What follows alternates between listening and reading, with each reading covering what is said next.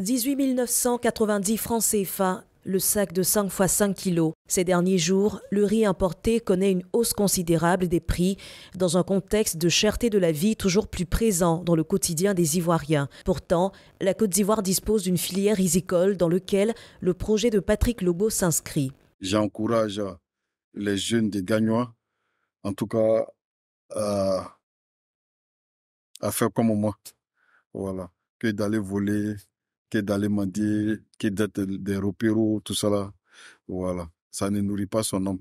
Quand tu as un métier, bien quand tu as une activité que tu fais avec ton cœur, en tout cas, tout te sourit.